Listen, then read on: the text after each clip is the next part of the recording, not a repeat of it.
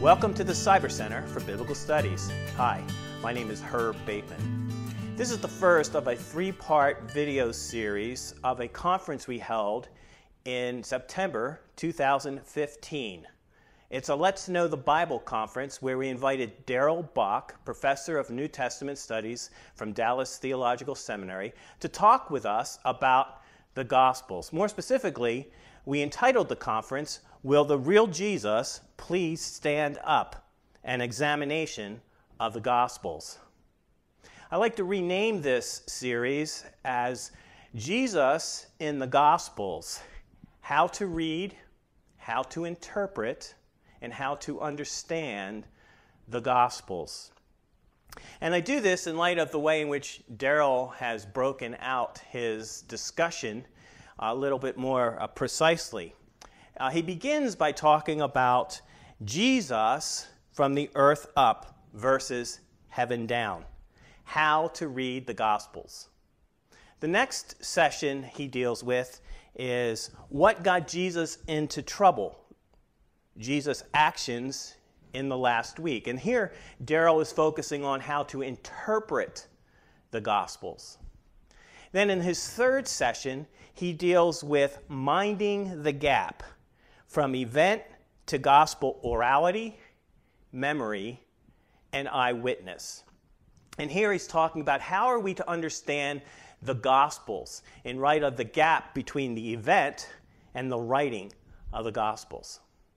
So in this first video, we're going to focus attention on G- uh, Darrell's first session. Jesus from the earth up versus heaven down. How to read the Gospels. Now, throughout this presentation, Darrell will make reference to a conference booklet uh, entitled, Will the Real Jesus Please Stand Up?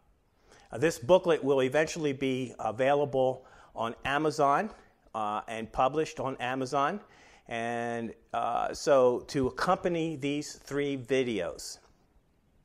In the meantime, I trust that you will sit back and enjoy uh, Dr. Darrell Bock's first session entitled Jesus from the Earth Up versus Heaven Down How to Read the Gospels.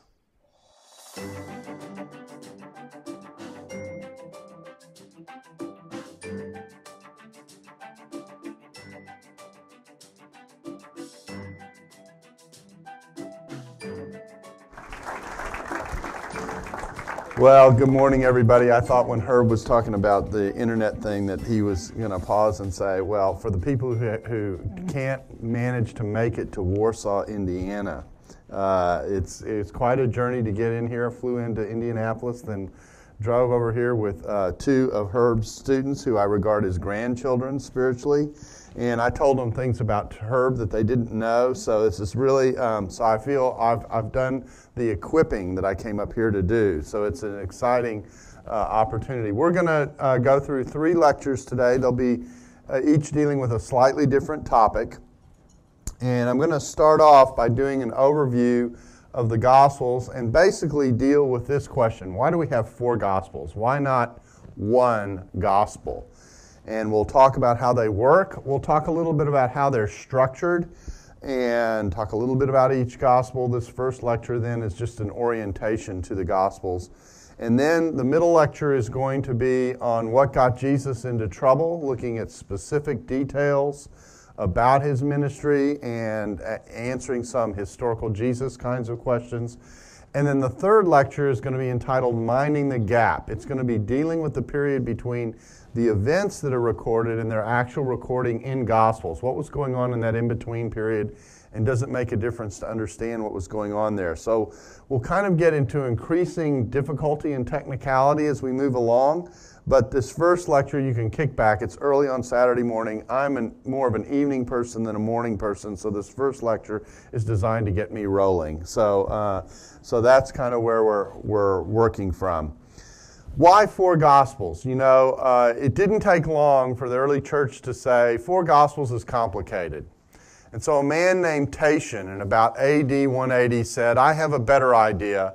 I'm going to put the story of Jesus in one running storyline, in one place, and kind of weave it all together. And he called this work the Diatessaron, which is actually a wonderful title. Um, I'm sure you all immediately know what it means. It means through the four. And in the midst of doing uh, through the four and talking about primarily the four Gospels, he tried to tell one intertwined story. We still do this today. There are still there are books out there called Gospel Harmonies that uh, that often try and tell the story of Jesus in one storyline, mixing together what they think the order of the Gospels actually is. And as I spoke last night at Grace College and Grace Seminary, and I was saying you can do that for some parts of the Gospels, but for other parts of the Gospel, it's hard to know what the exact order and sequence of events is because the Gospels don't always tell things chronologically. Sometimes they go topical. Uh, sometimes they move things forward to kind of give a preview of what the entire uh, period of Jesus' ministry is like. And so there are things like that going on in the Gospels that actually make telling one united chronological sequenced uh, story of Jesus kind of difficult. But we have four Gospels, I think, for uh, another even more profound reason. And that is that what four Gospels allows us to do is to get a variety of angles on Jesus. We don't have anything in the Gospels that Jesus himself sat down to write and present as a gospel. Everything that we have in the Gospels is through the eyes of someone else. And this portrait of Jesus, these multiple portraits of Jesus actually, allow us to kind of put Jesus in quadraphonic sound. They allow us to look at Jesus from four different but related angles, and we get to see his impact how Jesus struck other people and impacted other people, how they viewed him rather than hearing it uh, directly from himself. So it allows the opening up of possibilities. When I illustrate this, and I'll probably use a dozen sports illustrations tonight or today. Um, when I illustrate this, I like to think about instant replay in the NFL. You know, we're getting ready to start the National Football League season, and in big cities in the United States, that's a big deal. And so, um, and when we originally had instant replay, we only had a handful of cameras. Now we have so many cameras doing instant replay and so much technology that's involved in it, they can actually, you know, synchronize the cameras and do a whole 360 thing with the play. And, and the more angles we have, the better look we have at the exact same event. And really, the four Gospels work in a similar kind of way. They're designed to give us four different, discrete angles on Jesus and present uh, what it is that he is doing and what it is that he's about with a different set of concerns. And in a little bit later, I'm going to go into the differences between each of the four Gospels. But there's one other major feature that is the dominant feature between the, between the four Gospels that I want to highlight in this first hour, and it's this that three of the Gospels tell the story of Jesus from what I like to call the earth up. And what I mean by that is, is that you watch it dawn on people who Jesus is. It starts, for the most part, with categories that we're used to. And then we watch it emerge who Jesus is, and we watch people react to the emergence of that story. The synoptic gospels, which uh, are gospels that overlap in the kinds of things they tell us about Jesus, that's Matthew, Mark, and Luke, are called the synoptic gospels. All tell the story of Jesus from the earth up. John, on the other hand, tells the story from heaven down. You know from the very first verse what John's punchline is. In the beginning was the Word, and the Word was with God, and the Word was God. This is CNN. Okay, that's, that's how you start off in John. You know from the very first verse where the story is going. And it, it doesn't so much emerge, although you do watch it dawn on people, but, but he's telling you from the very prologue, from the first 18 verses, what the whole story is about. Now, why does that difference make a difference? That difference makes a difference because how you talk about Jesus and how you present him uh, is important in thinking about where most people come from in learning about Jesus. Because it's my premise that everybody learns about Jesus the same way. Everyone learns about Jesus from the earth up rather than heaven down.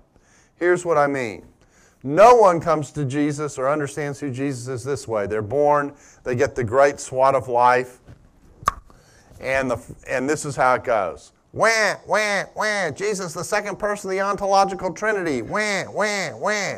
Okay? No one comes to Jesus that way. No one has an inherent understanding of all that Jesus is and the program of God and how it's wrapped up in Him from, from just the instinct of being born. Someone has to sit down with them and interact with them, either through their church, through friends, uh, through what they see on television, what they see on the net. Someone has to sit down, or some combination of people have to sit down and unfold for someone who Jesus is, which means that we all learn Jesus from the earth up.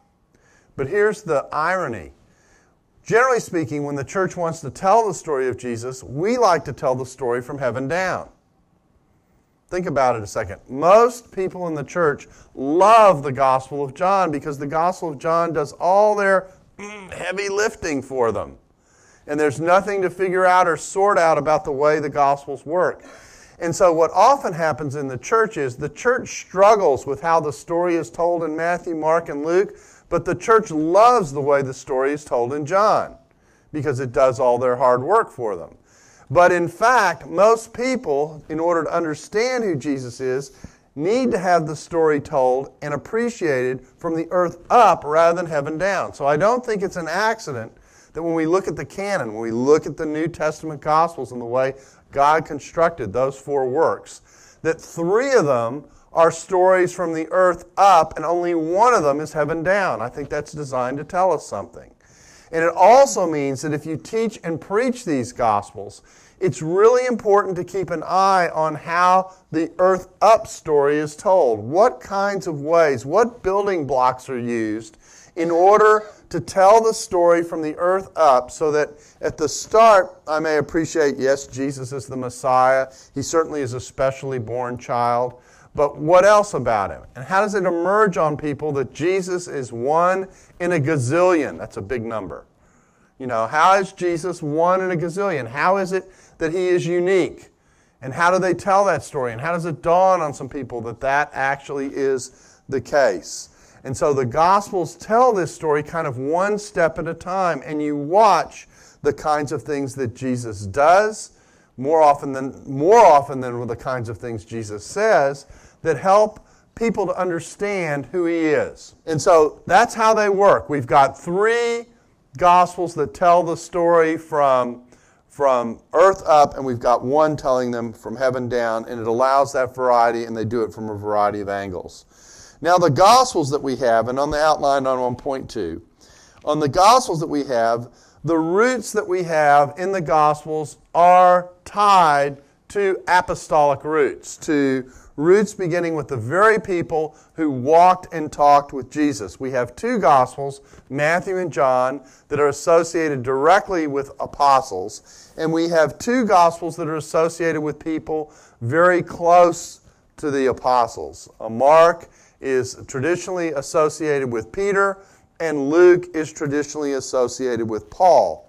And so the Gospels themselves have the roots of even though they were the stories of Jesus were passed on orally for a time before they were written down, that base testimony comes from eyewitness sources and is rooted in uh, apostolic oversight that we see in the various gospels. I'm going to talk about that especially in the third lecture when we're talking about minding the gap. Now, under the notes where you see some apologetic stuff, here is the moment that the, you know, that the seminary students are here for. So the next five minutes are for them, okay? The rest of you can relax. Um, when it comes to thinking about the apostolic roots of the Gospels, sometimes what you hear skeptics say is something like this. Well, you know, none of the Gospels actually names the author of the Gospel in question. That's true.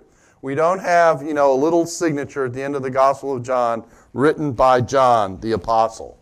We don't have a little note at the end of the Gospel of Luke that says written by Luke, um, the associate of Paul.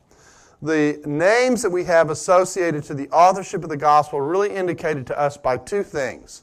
One is the internal church tradition that's been passed on about where these materials came from.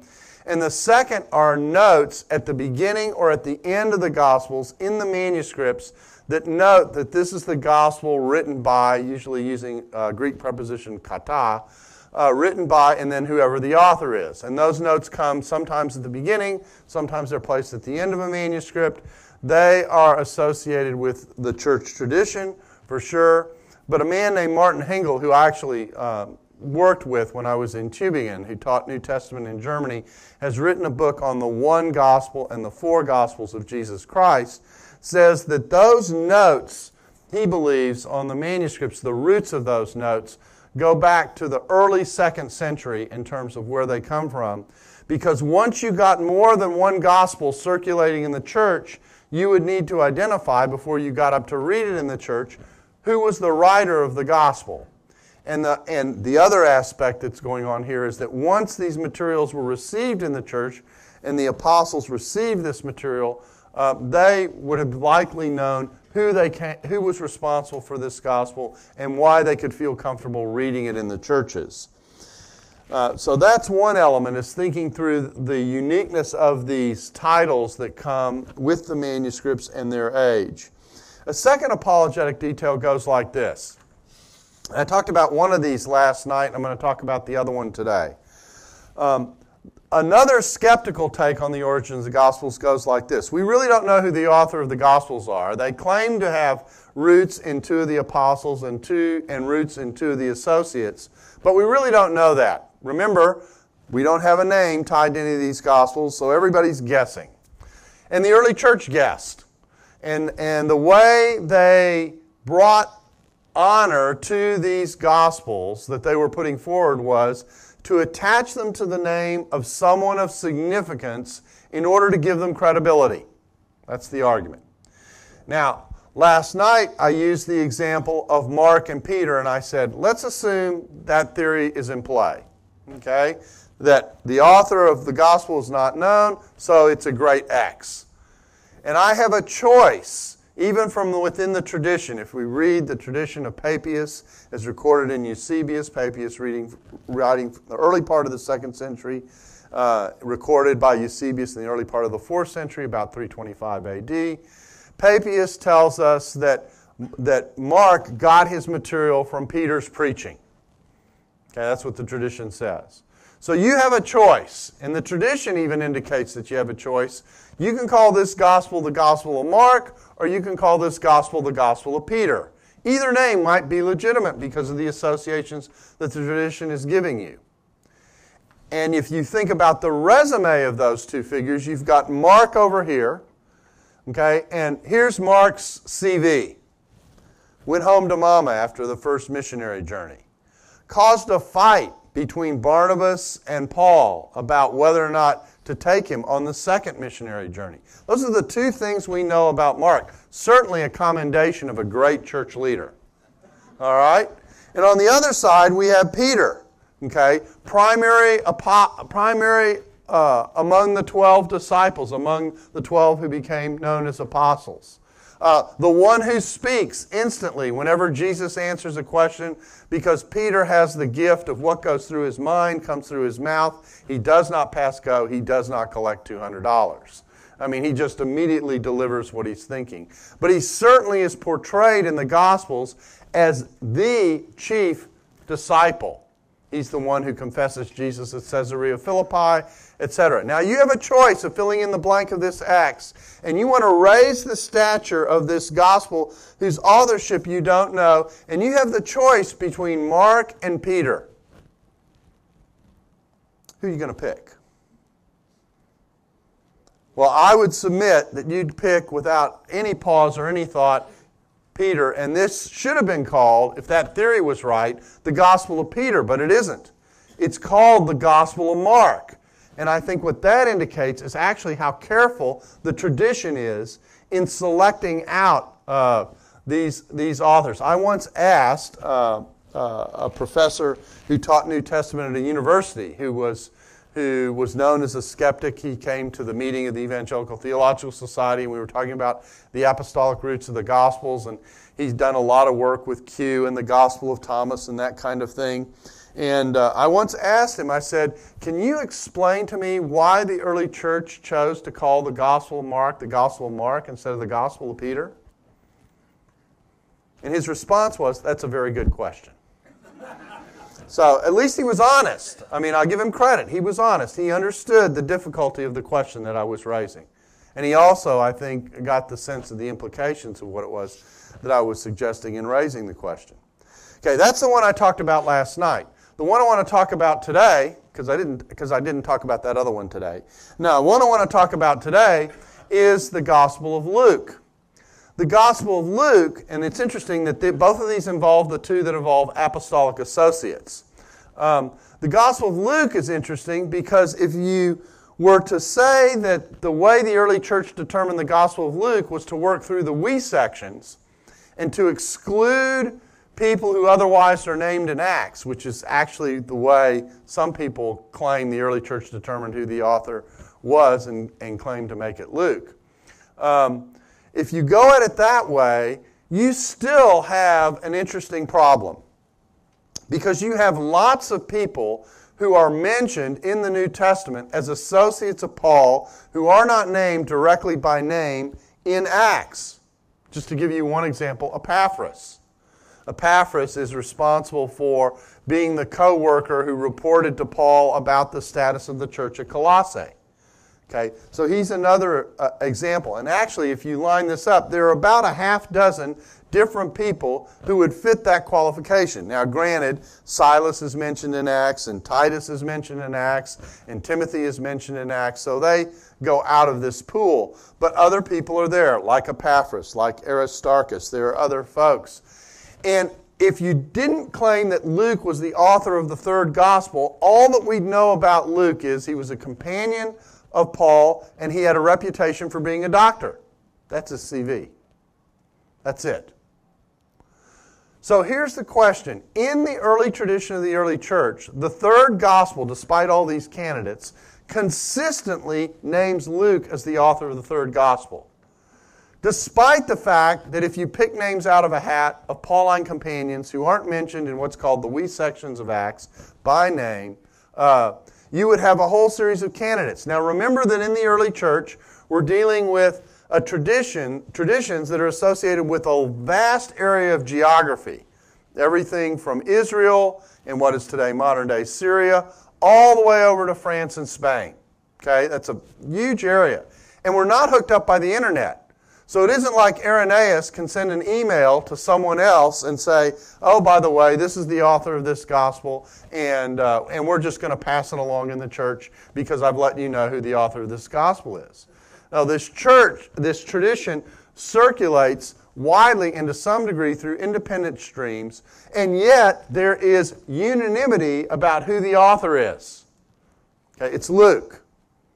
And so the point that I'm trying to make with both these examples is that it looks like the tradition knows something about who these authors would be, and they're not guessing. They're not picking names out of thin air in order to enhance the status of the gospel, in order to make it more credible, or something like that. Okay, what about the likely order of the writing of these Gospels? What order are they likely to come into? If you pick up your Bible, they're in the order Matthew, Mark, Luke, and John. Uh, that's likely not the order in which they were written. There is an early church tradition that says that Matthew was the first to set a hand to the gospel, and that he did it, interestingly enough, in the Hebrew, and then the Greek word is dialect, which can mean language or style, depending on the context. And most people read it as language because that's the normal way to use it, but a few people will read it as style. And so we've got a tradition about Matthew being the first to write a gospel, um, and he did it in, in a Hebrew, in a Hebraic context, if I can say it that way. Although the gospel that we have in our, in our New Testament, the manuscripts that we have, are Greek in their, in their origin. So we've already got a translation thing going on of some kind. In other words, the gospel that Papias talks about, about being in Hebrew, doesn't look like it's completely the same thing as what we have in, in our New Testament, which is interesting. That produces a lot of discussion among scholars. So, what many scholars will say, even though for a long time Matthew was believed to be the first gospel, in part because of what the tradition said, what many scholars think is that actually it's Mark that was the first gospel that was written down. This is in part because Mark's outline and Mark's order of events, for the most part, dictates also what you see sequentially in Matthew and in Luke. And many people go, because of that, Mark's either got to be first in the sequence or last in the sequence, because the other Gospels look to be following, in general, his order of presentation. What's interesting about that suggestion is, is that people turn around and they say, well, it's hard to think that Mark is third, that he's last, that he's simply kind of a Reader's Digest version of the other two Gospels, because the reason that sometimes gets suggested is, you know, Matthew's long, it's 28 chapters. Luke is long, it's 24 chapters. Mark's kind of short, it's 16 chapters. So maybe Mark is the Reader's Digest version, okay, or the internet inclined person's version, the Cliff Notes version of the story of Jesus, that's been reduced down, okay, and made shorter and more compact. And it came last, drawing on the other stuff. But the problem that you've got with that idea is multiple. The first is that most of the places where Mark overlaps with Matthew and with Luke, he actually has longer uh, versions of the events that he tells. So it doesn't look like a Reader's Digest clipped down version. It actually is an expanded version of the stories that we get in Matthew and Luke. That looks odd. And it also are strange omissions if Mark is third. For example, perhaps the most famous speech that Jesus gave anywhere in the Gospels is the Sermon on the Mount. There's a shorter version of it in Luke that's called the Sermon on the Plain.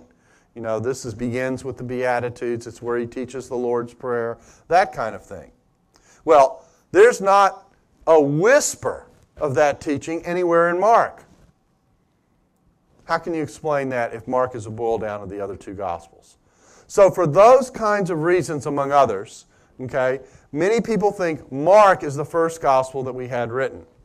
Another source that is suggested that feeds into the Gospels is a tradition stream often named Q. Uh, the tradition is, is that Q stands for the German word Quelle, which means source. And, and there's a lot of discussion about what Q actually is, whether it's all a written source or it's an oral stream tradition or a combination of the two. But there are about 235 verses, give or take.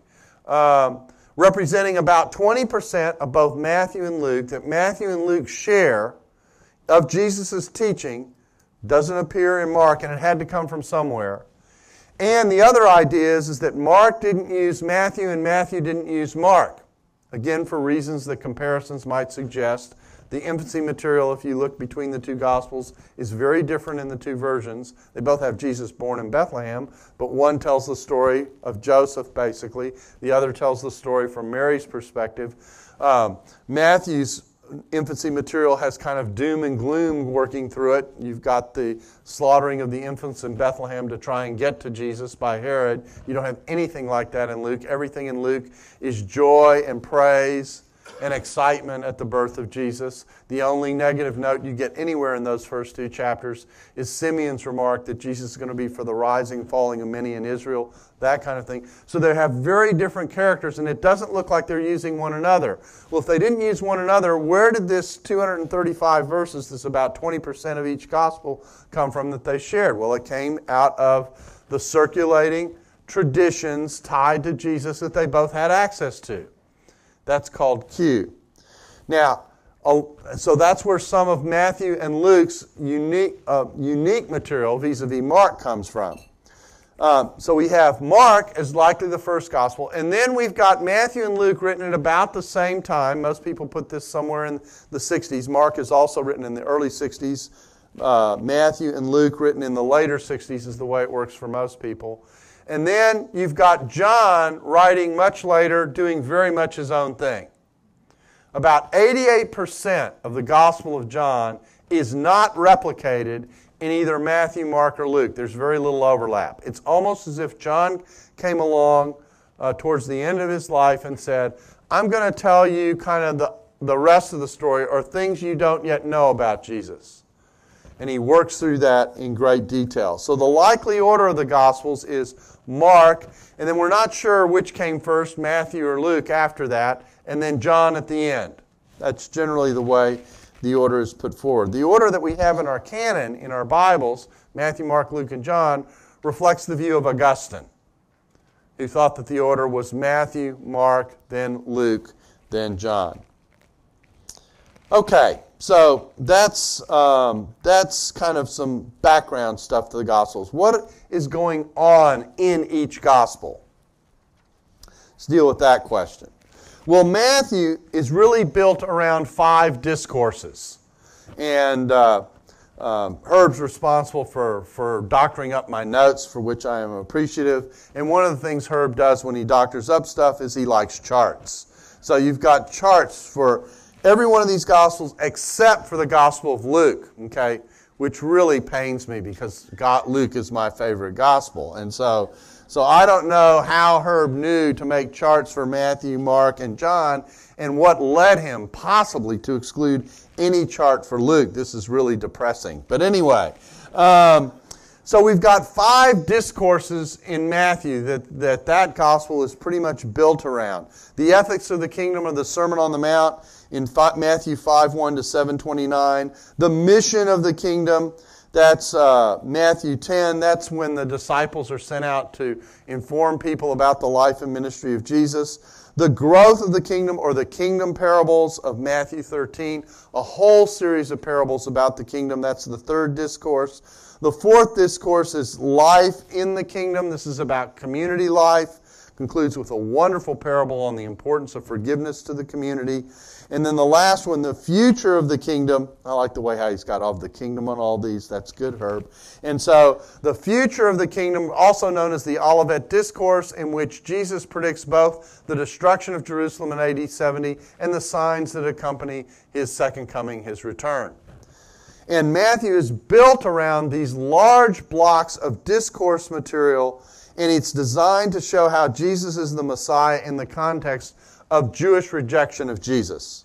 That's what that first gospel, Matthew, is about. The second canonical gospel, Mark, is a gospel of action with a call to discipleship and servanthood in the context of rejection and suffering. And what's interesting is, whereas Matthew has a lot of teaching and Luke has a lot of teaching, Mark has a lot of miracles and not much teaching. There's much less teaching in Mark. In fact, that's one of the reasons why Mark is shorter. There's much less teaching in Mark than there is action. And another thing that's going on here that's important is when you read the synoptic gospels, Jesus presents himself less by saying who he is than by doing stuff that points to who he is. I'm going to give you an example of that in just a minute. So, so Mark is highlighting Jesus as this uh, figure who's declaring the arrival of the kingdom of God. He's performing all kinds of miracles with regard to what's going on. Um, he's commenting on that here and here and there, but he also is preparing his disciples. In fact, half the gospel deals with preparing his disciples for the fact that he will be rejected, and they will also suffer rejection from a lot of people as a result of what he's doing and saying. And so the chart that, uh, that Herb has put in for Mark has to do with the three rejection uh, predictions that Jesus makes starting after Peter's confession at Caesarea Philippi and then moving as he approaches closer and closer to Jerusalem to face his death in the second half of that gospel.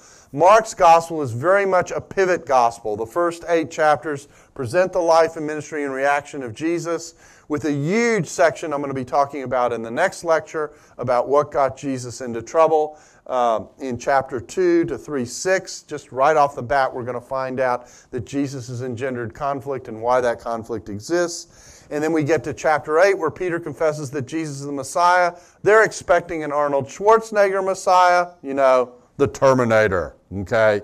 He's going to bring this big victory immediately, and they're looking for that victory. And he immediately tells them, No, that's not the kind of Messiah I'm going to be. I'm going to suffer. Okay? And then I'm going to come back. So, so the second half of that gospel from chapter 8 to chapter 16 tells the story of the movement to Jerusalem, the suffering, along with the predictions. And the emphasis is on a discipleship in the context of a world that's going to be, in many cases, hostile to what it is that you believe. Sounds somewhat familiar. So that's the Gospel of Mark, is preparing them for discipleship in a fallen world, basically. Now, the Gospel of Luke is written to reassure its readers about the divine program in Jesus and that it's rooted in long standing promises of God, especially in its inclusion of Jews and Gentiles together. That ethnic mix was like mixing, uh, how can I say it, gasoline and a match in terms of the way it would normally work in the culture. So the idea that you would consciously form a community that would bring Gentiles and Jews together was kind of revolutionary. And in the ancient world, the idea of something being old, uh, the idea of something being new, like it is in our world today, and that being the positive thing, is the exact opposite the way ancient world worked with regard to religion. With regard to religion, what you wanted was something that was time tested. And so Christianity looked like it was the new boy on the block. I mean, think about this. Who works with Microsoft Word 1995 today? You don't want Microsoft Word 1995. You want Microsoft Word 2016 if you can get your hands on it. Okay? But in the ancient world, it was the opposite with religion. Religion needed to be time tested. And so Christianity looks like it's the new boy on the block. Well, that doesn't commend it to anybody. So part of what Luke is doing is to say, no, what looks like is actually new is part of an old and long established plan that God started back with Abraham, brought through David, promised in the new covenant. Century old promises are now being realized. This new thing is actually very old. And having Jew and Gentile together is actually part of God's program from the beginning when He said, when He made His promises to Abraham, I'm going to bless the world through your seed. And so, so, this gospel is designed to show the establishment and the age of what is going on. The last gospel, John, then what we call the heaven down gospel, attempts to show through seven signs and an examination of Jesus' teaching about his departure and his promise to bring the Spirit of God. And in that, to demonstrate that Jesus is the Son of God and that faith in his name saves. So you see the chart that's tied to this gospel. It emphasizes the naming of the seven signs that we get in the Gospel of John, all of which point to the unique position that Jesus has as the Son of God. And John, as I said, is the easy is an easy gospel because all the cards are laid out at the table from the very beginning. And John is also built around several long uh, dialogues between Jesus and the crowds.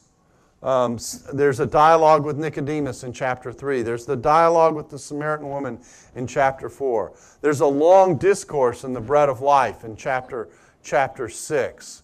There's discourses involving uh, the healing of a blind man in John 9. There's the Good Shepherd discussion in chapter 10. So John is built around these kind of conversations that rotate around what Jesus is doing and saying.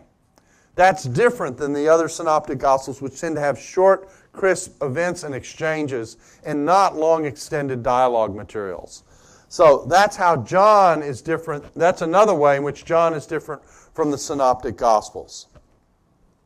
Okay, so that's kind of our quick overview in thinking about how the gospels uh, are related to one another and a quick look at their contents. I want to deal, there's a section here called Some Key Texts, but I'm only going to have time to really to deal with one of them.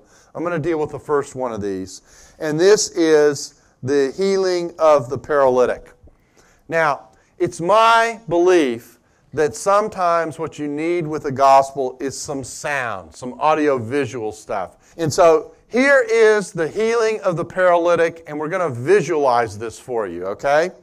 So imagine Jesus is teaching in a room full of people, and there's no room to bring anybody else in. So the next thing you hear is this Woompa, woompa, woompa, woompa. The next thing that you see are little flakes coming down from above as an opening. A skylight emerges from the top. The next thing that you hear is this uh, uh, uh, plunk. And sitting before Jesus is now a man, a paralytic who can't move. He's on, and, and they've laid him before Jesus so that Jesus can heal him. Okay, so just visualize this with me. I'm, I'm helping the videographer by going slow. So here he is, down on the ground. Okay? And Jesus says to him, Your sins are forgiven. Okay? Now, this is not in the text. Okay? But just think about it with me. You're this guy, and your friends have had you drop in, and you've dropped in to be healed. All right?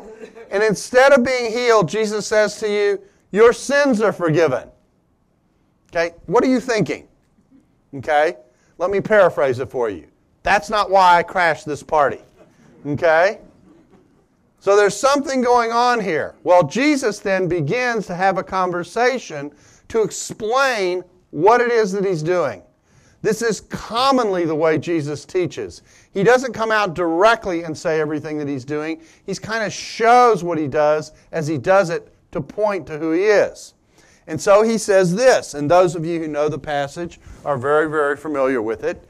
He says, and we've got the text in here in your notes, and so it says, um, Why does this man speak this way? He is blaspheming. Who can forgive sins but God alone? So the theologians who are there, theologians always have a comment on what's going on in front of them. Okay? And these theologians are no different. And so they, they theologize about what's going on. Who can forgive sins but God alone? It's actually a very accurate comment. Sets up the entire scene. Now, Jesus, when he realized in his spirit they were contemplating such thoughts, let me tell you a little secret about the Gospels. Whenever anyone thinks or expresses themselves privately in front of Jesus, it's bad for the person doing the thinking. Okay? Just it's it's just automatic. Okay? It's bad for the person doing the thinking. There's usually some type of teaching or rebuke that follows, and that's exactly what happens here. Even though what these guys are thinking is absolutely correct, they're bothered because a human being is doing something that God should be doing. I'll let you meditate on that in your spare time. So it says, Why are you thinking such things in your hearts? Which is easier to say to the paralytic, Your sins are forgiven, or to say, Stand up, take your stretcher, and walk? Now, I'm a professor, okay? I design exams that are designed to separate, okay, the men from the boys, okay, and the ladies from the girls, all right? I want an exam that's going to tell me this person is ready to go into ministry and this other person should be selling used cars. Okay? So, so that I, I really look forward to having, you know, that kind of exam. This is that kind of question. Okay? You're separating the wheat from the chaff here. And what he's doing is he's asking a trick question that's designed to sort this out. What's easier to say? Your sins are forgiven or stand up, take your stretcher, and walk. Now, this is how this is supposed to work. How do you see or demonstrate that sins have been forgiven? Just think about that for a second. Okay? Uh, I'll, I'll, use, I'll use Herb as an example, okay? Because I like to pick on Herb. All right? All right. Herb, you, you here? Am I? I thought so. Way there in the back, okay? Herb's a great guy, okay? But let's face it, Herb's a sinner, okay? All right? He is. He's a sinner. Okay? So I say to Herb, Herb, your sins are forgiven. How do you feel, Herb? yeah, see? Right? All right? That's, what I thought. Okay? He's just proving the point. Anyway, he should accept the fact that his sins have been forgiven, right? So, how do you see that what I've said is true. There's no way to see it. I mean, how did anyone see sins? You know, you say your sins are forgiven, you watch them fly away, and you go, Bye, sin. Hope you've had a great time. Hope you never come back. Okay? You can't see sin being forgiven. In the meantime, I've got a paralytic in front of me who can't walk. And I say to him, Get up and walk. Okay? All of a sudden, it's showtime. Okay? That's something you can see. You can see that change. And so, what Jesus does is he links something you cannot see to something you can see with the assumption, which existed in Judaism, that God doesn't help sinners. Okay? So, that's in the background. And it goes, But so that you might know that the Son of Man has authority on earth to forgive sins, he said to the paralytic, I tell you, stand up, take your stretcher, and go home. So when the paralytic gets up and walks, His walk talks. And this is what his walk says The Son of Man has authority on earth to forgive sins. The Son of Man has authority on earth to forgive sins. The Son of Man has authority on earth to forgive sins. And Jesus is, and this is important, this is part of how the earth up works. Jesus is showing who he is, disclosing who he is, as much as talking about who he is. In the disclosure is the revelation. Later on in Jesus' ministry, when he calms the winds and the waves. Okay, Jesus doesn't do any teaching, he just rebukes the creation and it goes calm. What's the disciples' reaction at the end of that scene? Who is this who commands the winds and the waves and it obeys him? See, it's dawning on them from the earth up who Jesus is. And there are literally a series of events like this through the Gospels that have it dawn on people who Jesus is. And basically, the conclusion is this is not, you know, neighbor Joe. There, there is something unusual about this person and we start to build these up in a variety of areas, and it begins to dawn on you how unique Jesus is. That's actually how the Gospels tell the story from the earth up. And my plea would be when you work with the Gospels, particularly when you work from these earth up Gospels with Matthew, Mark, and Luke, and if you're teaching and preaching these, these stories, let the story build. How many of you, when you go to a mystery movie, you know, and you're trying to figure out who done it, all right? Love the person who sits next to you and says, the butler did it. Okay? Early on in the movie. Okay? You don't like that. Okay? You want to wrestle with who did it.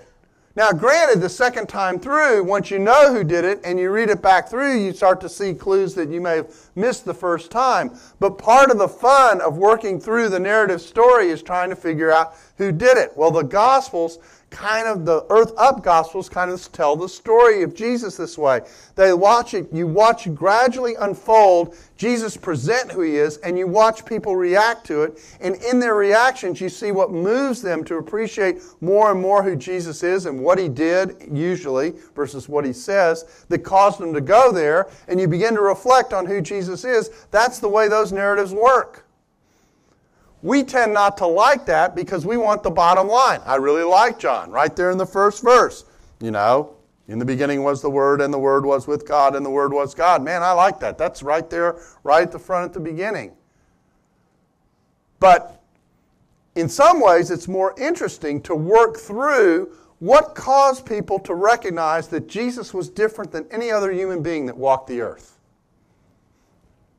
Matthew, Mark, and Luke tell you that story and they tell it to you that way. So, my exhortation to you as I wrap up is to let these Gospels unfold in the way in which they tell the story. Teach them in the way they tell the story. And it will make working, particularly with Matthew, Mark, and Luke, which are trickier Gospels to work with than with John, generally speaking, it will make those Gospels open up to you as you think about how it is that Jesus disclosed himself and how it is that it slowly dawned on people, particularly his disciples, all of who Jesus was.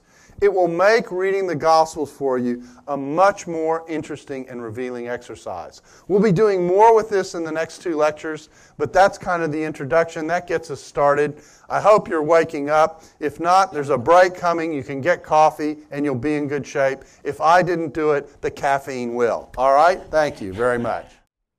Thank you for joining with us in listening to Darrell's presentation on how to read the Gospels. I trust that you will join with us in his next presentation, How to Interpret the Gospels, where he focuses on what got Jesus into trouble, Jesus' actions in the last week. Until then, have a great day.